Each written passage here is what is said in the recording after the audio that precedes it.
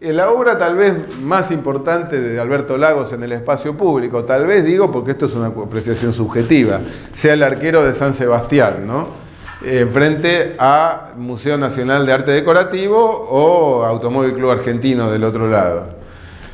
Eh, y después vamos a tener una serie de monumentos también en la zona de Recoleta que vamos a ir recorriendo. Empecemos entonces por el arquero de San Sebastián, que es una gran obra eh, modelada y fundida en París, ¿no? Cuando él tenía su estudio en París. Fíjense que eh, ya por la escala, como vamos a ver, fundir una obra de esta naturaleza en, en Francia era un lujo para la época, obviamente. Lagos, si bien utiliza un lenguaje clásico y temas aparentemente convencionales, a mí lo que me parece original de Lagos es el giro en la anécdota que le da a cada trabajo. Por ejemplo, nosotros estamos acostumbrados a una iconografía de San Sebastián que nos muestra al santo.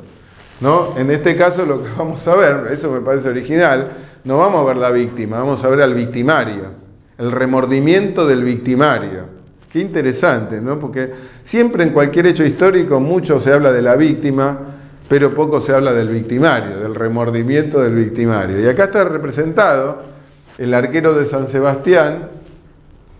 Ustedes saben la anécdota, ¿no? Sebastián era un miembro de la guardia pretoriana del emperador Diocleciano, ¿verdad? Eh, y se pasa al cristianismo. Entonces, eh, furioso el emperador lo manda a acribillar por sus propios compañeros. Esa es la anécdota para entender luego al personaje. Entonces, este, acá lo que vemos es el remordimiento del victimario, según una interpretación. Pero hace poco, un alumno muy joven que tengo en otra universidad, me dice, no, profesor, usted porque no hace arquería, yo practico arquería. Lo que está haciendo el arquero, eh, al contrario, es tensando el arco.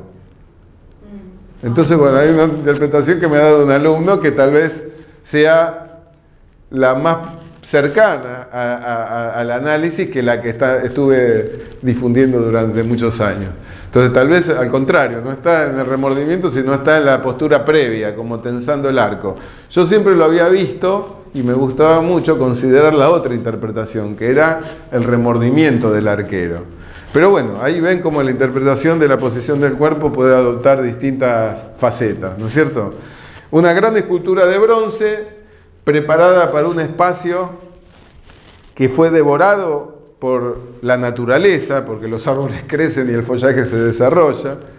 Eso es lo que hace un artista paisajista, que considera cuando proyecta un espacio el desarrollo posterior.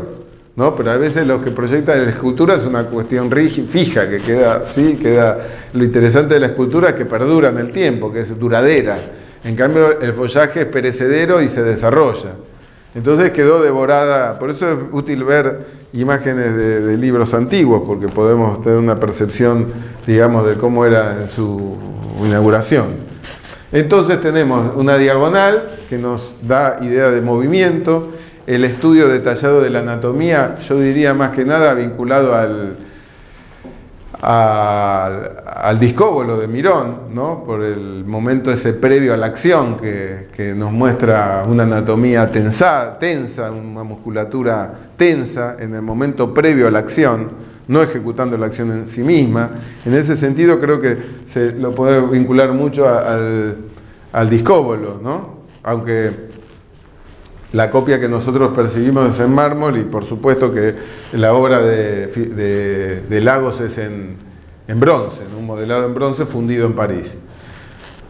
Si, ustedes lo quieren apreciar, está en un lugar muy favorable porque está frente a la sede casa matriz de- del Automóvil Club Argentino, donde están sus relieves también, sus relieves en, en el basamento, y del otro lado el Museo Nacional de Arte Decorativo, que también, digamos, un lugar común, ya me tienen harta de la frase, harto de la frase, está en diálogo tanto con los relieves del Automóvil Club Argentino, está en diálogo también con obras de interior que van a encontrar dentro del Museo Nacional de Arte Decorativo.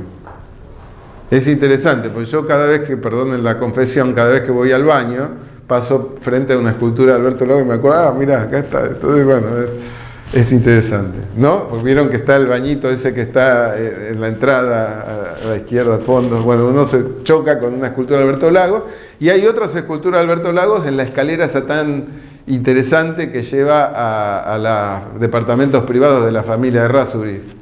¿No es cierto? Eh, van a encontrar en los descansos de la escalera obras de Lagos en bronce. Muy, bueno, véanlo, la obra habla por sí misma. Otras obras estaban atesoradas en la colección privada de Gato Dumas, que habría que hacer el rastreo de cómo poder acceder a esa obra para poder verla. ¿no? y si no, la, medallística, las medallas que hizo de gran refinamiento, también podemos acceder, otra forma de acceder a la obra de Alberto Lagos. Bueno, arquero de San Sebastián entonces, eh, dicho en pocas palabras, una obra que nos habla de, esa tradición clásica que alberga Alberto Lago y que este grupo de cinco grandes escultores monumentalistas podemos decir que el más clásico es Alberto Lagos. Así que hasta acá vamos a, mostrar el, arquero y continuamos eh, con otro gran monumento controvertido en el próximo video.